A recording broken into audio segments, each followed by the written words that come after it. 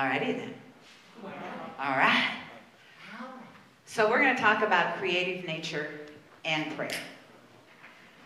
Seems like I've been gone forever. I mean, as far as being up here and, you know, sharing what I think I know. Which changes daily. So, I know, not always laughs. So here's the thing about creative nature that I think that I talk about a lot, and I don't know about you, I forget. I forget that this human stuff, my bones, my body, whatever you want to call it, is just a container. It is just a container. That there is a part of me that I absolutely believe and own that has always been, always will be, and is right here and right now. Call it your soul, you can call it the thing itself. Ernie called it it. So whatever that thing is, it is my connection not only to all of you, it is my connection to something so much bigger than all of us. And so what we tend to forget is we're always creating. And so when I was in, I went to Vegas for a weekend to a mastermind experience. And I learned some really great things. And, and most of the, the things that I learned, what, cat! oh my God, cat! Okay. Okay, so Deanna, you wanted to know what a squirrel moment was? That is it. Cat moment. Cat moment. I thought that I saw you this morning at a coffee shop, and I thought, is that the girl I saw this morning? Is that really Cat? Thank you so much for being here. Sorry, I'll get back on. So that's that creative wisdom. I thought about Cat this morning, and holy golly, there she is. And look how I manifested. How powerful is that? So what I know to be true is, and I shared this with the practitioners because I think it's really important that we remember this. How we do anything is how we do everything. And all weekend long, when I was in Las Vegas, they kept reminding us of that. Because I believe, I don't know about you guys, I get lazy. I'm not really engaged some of the time. What would it really look like if I woke up every single morning and thought, whoa, I am a powerful being because I'm God informed. And I seized every moment of every day from that place. What would our world look like if we really got that? Really, honestly, embraced that. And so some of you may think, well, yeah, and what does that have to do with prayer? So what I believe is, yes, there is conscious prayer, and then there is the prayer we're doing all the time. And it's called our life. And so what I, uh, I'm taking a class, a mastery class with a group of um, ministers, and Reverend Kathianne Lewis is teaching it, and she's got real pearls. And she's at Emma Curtis Hopkins um, follower, and if you don't know, Emma is the teacher of all teachers. Ernest went to school under Emma, and Emma is, is as amazing as Ernest, in my opinion. The, the difference is sometimes Emma actually tells you how to do things. Ernest was so brilliant, he just thought we were all going to get this. He really did. He thought, well, if I get it, then obviously you're going to get it. And, and sometimes I'm like, well, well, how do I do that? And so one of the things that we are learning is, if my life, regardless of what it looks like right here today, does everybody have one thing in their life they're like, ew, that's just not pretty? Yeah. yeah. One thing, I, I don't know about you guys if I wasn't holding a mic, yeah, I could do both hands. What if you raised and praised what is? Because you absolutely know you co-created that with God. What if you really, instead of saying on those really ugly things, oh, that's, you know, the economy, oh, you know, I, I picked a bad boyfriend, that's why that happened, or, you know, whatever it is in your life that you want to shift, instead of making it about everything out there, what if you really raised and praised, oh, thank you, God, for allowing me to struggle with my finances for so long. Obviously, there is a part of me that is a little thick-headed around my finances. Thank you for allowing me to move through that. Because trust me, my struggles around finances are my creation. I know that. I get that. And I never raised and praised the fact that, oh, yes, I'm a mighty, mighty manifester. I bring it in and spend it quicker than probably you can blink sometimes. And so it's what is it for me to do to shift that? Because I manifest a lot of financial good in my life. I just haven't been very mindful about where it goes. And so it is really whatever that is in your life, whatever it looks like, can you raise and praise it? Because we are creative and we created it somehow in our life. And sometimes that is so difficult to grasp onto and to really go, huh, all right, well, could I not, maybe, you know, could that one belong to somebody else? Anybody. Somebody else step up with that one. No, because the truth is, if God's creating through me with all the good stuff in my life, guess where God's creating through me also? Because what we believe is the universe is all good, it's all God, and it says one thing. Yes. yes. That's what it says. It doesn't say, oh, you know, Gayle, just thinking, maybe you don't want to marry that particular person. it tried to tell me that. I'm not talking about Paul, you all know that. you know, we have those moments, do we not? We have those moments where there's something inside of us, that still small voice from within that's like, hello. Nope. You know, we just talk louder. We act more crazy. We move faster so we don't have to hear it. And so it was interesting because um, Robbie and I have this expanding prosperity consciousness group, which is fabulous. Yay! Give it up for the prosperity consciousness. Yeah. Yes. How you do one thing? What? Uh, come on. I'm telling you, Las Vegas was, they had it. If we didn't stand up out of our chair, yelling at the top of our lungs, they made us sit back down, and that's what he'd say. How you do one thing yeah. is how you do everything. Robbie's been to multiple ones, so she knows. And so um, Leslie Slavin posted on our closed group a video of a guy that gave a TEDx talk. And what I found fascinating about his TEDx talk was that it is exactly what we teach here. However, what he did, because he's a psychologist, is he ran tests on this theory.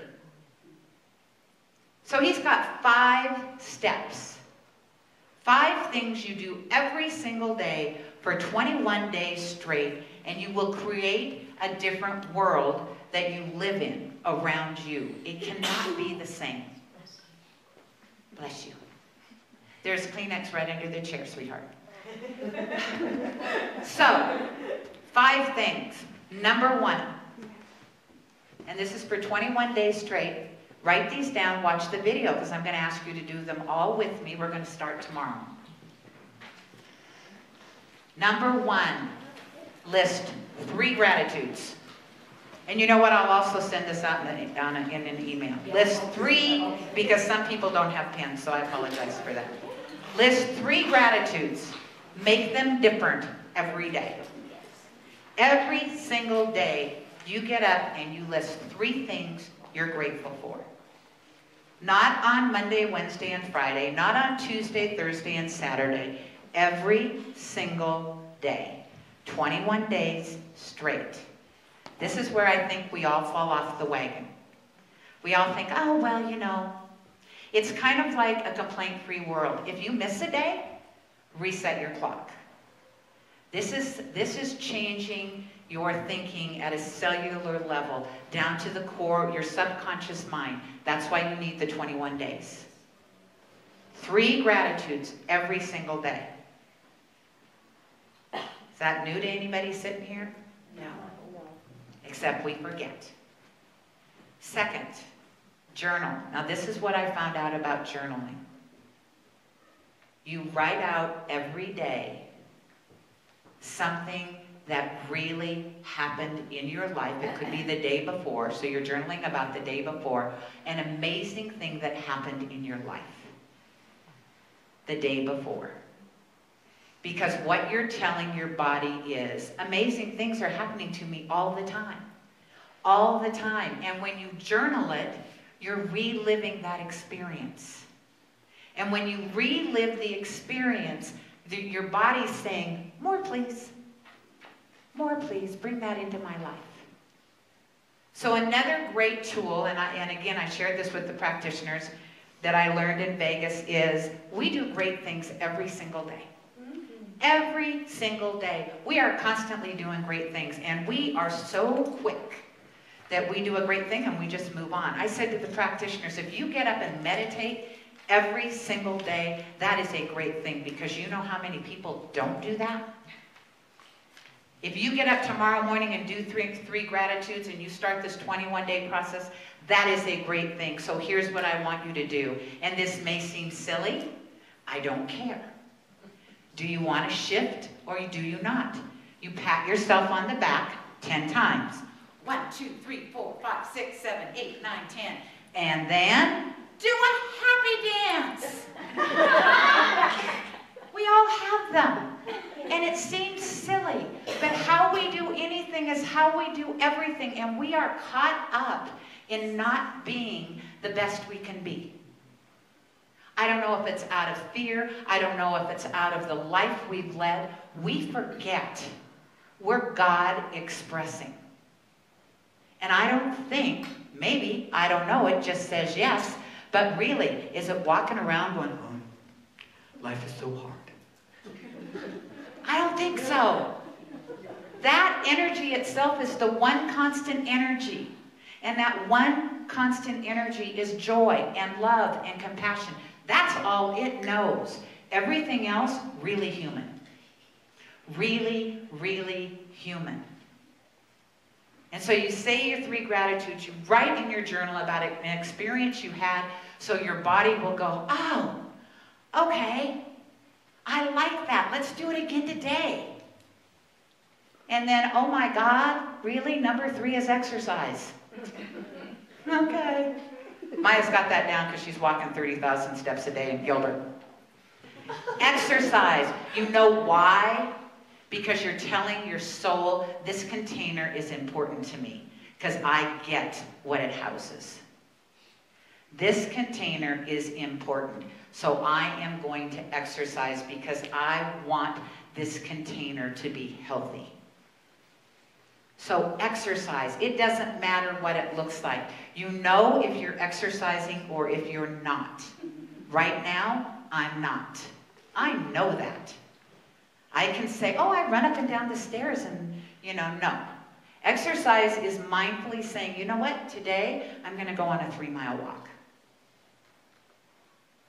I've, you know, I've got DVDs of the kazoo that I could exercise to. They just need to get out of their little holders and into the DVD player.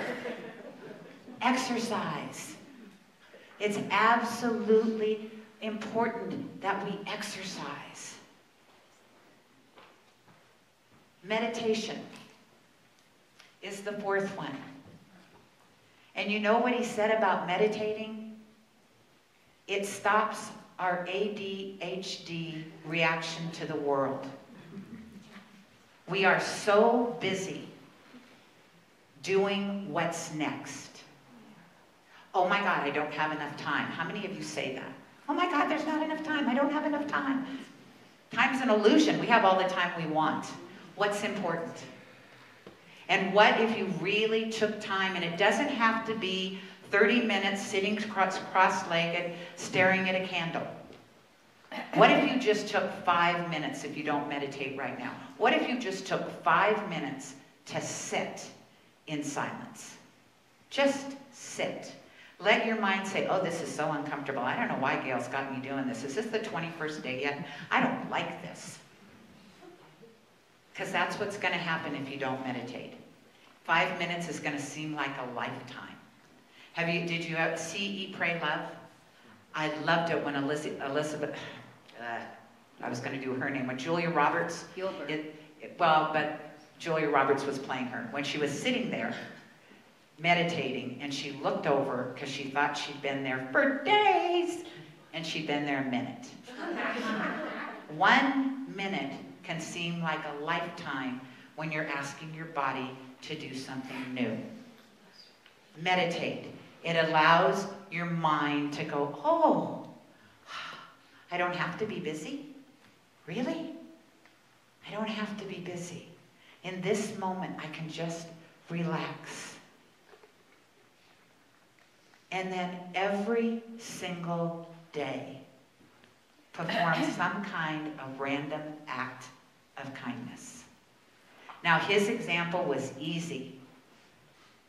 You send off an email to somebody to tell them how much they mean to you in your life.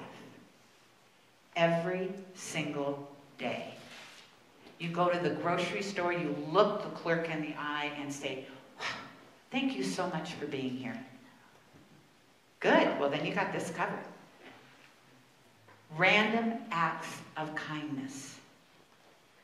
He swears, and he's a psychologist. Ernest Holmes taught this since the beginning of time. So did Emma. So, you know, there's so many people out there, probably the ancient wisdom people also. I don't know that they were running around making crazy like we do. Who knows, maybe. And still, we forget. So, starting tomorrow, three gratitudes. Three things you're grateful for. And for 21 days, when you go back and read them, make them different every single day. I'm so grateful I live in Santa Fe. Well, I am too. You get to say it once. Two, journal, and it doesn't have to be long and lengthy. Write out something fabulous that happened to you. So your body actually goes, oh, wow, that was kind of fun. Let's do that again today. Let's have fun again today. I forget. Exercise. Thank you. Yeah, no wonder I forgot. Of course I did. Darn it. Exercise. Tell this container that holds God, oh, I am so glad you're here. I am so glad that you move with grace and ease. So absolutely exercise, meditate. It doesn't have to be for a long period of time. Just sit by yourself without your computer, without your telephone, without music, without anything at all except you and the air you breathe. Just sit. Set a timer because five minutes will seem probably like a lifetime. Maybe not. Some of you I know are avid meditators and you're going to think, five minutes, I could do that. No. Heartbeat, good. And some people may, like me with exercise, go, whoa, five minutes? So do it for five minutes. and then do a random act of kindness every single day. Any, all the time. So Harriet wants to know, when do I pat myself on the back? And do a dance. Do that happy dance. So, let's say women or guys, you just got a great deal on a piece of clothing. I don't know why clothing's in my mind. you got a, you know, you got, oh my goodness sakes. I had no idea that was going to be on sale. I don't care if you're standing in the middle of Chico's. Pat yourself on the back 10 times and do a little happy dance. Wow, I walked into this store, I found the perfect piece of clothing to make me feel good about my life. Now, let's see how many of us will do this daily. because it's a practice. And for most of you, you could post your gratitudes either on Everyday Center for Spiritual Living on the um, on Facebook, or you can do it. We have a members only one, and you can do it there. Or you can keep it quiet and just do it for yourself. However, I encourage you find a buddy. Find somebody that's going to say once a day, So, did you do those things? Because we are creative. We are absolutely creative. We are creating with God all the time. And if we want to shift our world, we have to shift our reality. It is one person at a time, and it's a tribe. It is absolutely all of us. How will Santa Fe be different if each one of us does this for 21 days straight? I don't know. And we won't know unless we absolutely commit. I was going to say try, and Yoda says there's no try, there's just do. So let's do this together as a community. Make a commitment, not to me, not to somebody sitting next to you. Make a commitment to yourself that you want to change your reality. You want to change how you are in the world. Because that's where the difference happens. We do it together, and we do it one person at a time. Namaste. Namaste.